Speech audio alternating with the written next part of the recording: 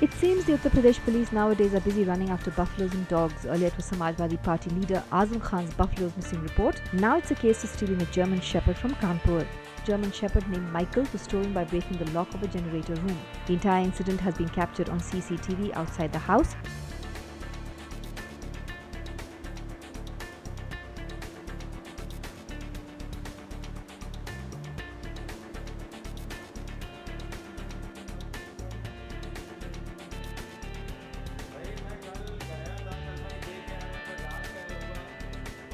The dog's owner, Vineet Sengar has registered a police report.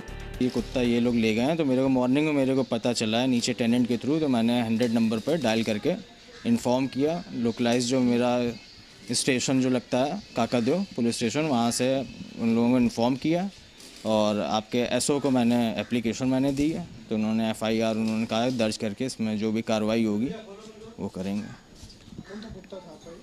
ये German सफ़र था Michael Michael नाम था इसका ये अभी पाँच महीने का हुआ होगा पाँच से छः महीने तक का था अभी तो कुछ नहीं हुई है कल चौकी इंचार्ज आए थे तो सब देख के अपना गए हैं आज बोला है कि एफआईआर की कॉपी आज देंगे The increase in animal stealing in Uttar Pradesh is increasing the mystery level, which needs perhaps an immediate solution. Powered by NNIS.